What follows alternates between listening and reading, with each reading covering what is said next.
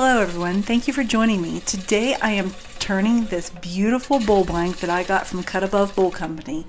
I will have their information linked in the video description if you're interested in checking out any of their bowl blanks. I'm telling you, Cut Above does not disappoint because this horse chestnut bowl blank is just absolutely stunning once I started cutting into this and I stopped the lathe for the first time and looked, I was like, oh my goodness, this piece of wood is extraordinary.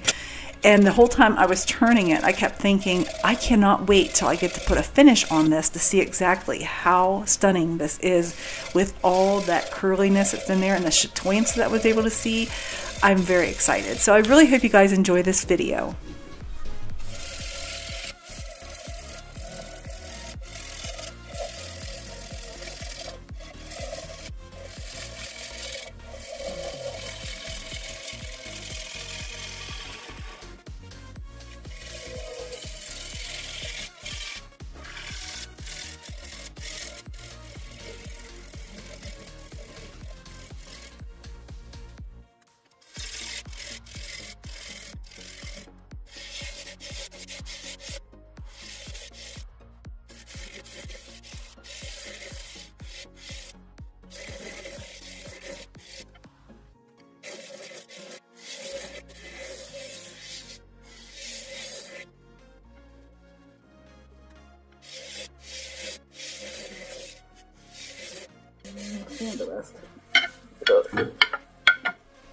Okay guys, I am going to sand this up and I will bring you back whenever I do the finish. All right?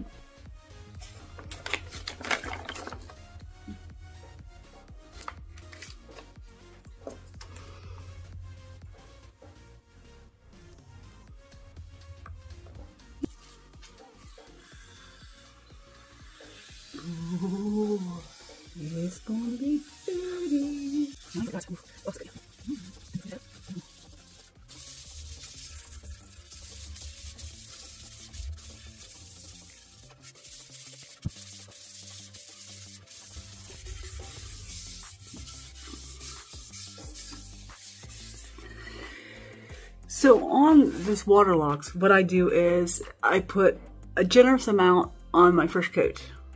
And I let that soak in, which you can see that is almost completely soaked in.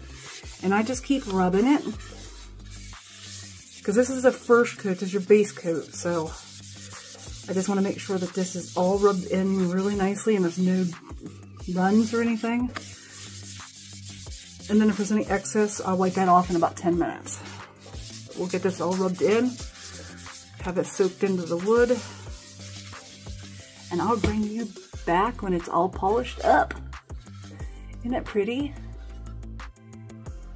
I don't know if you can see that or not, but there's a lot of character in this piece. A lot of curls. It's so beautiful. Horse chestnut, who knew? Pretty.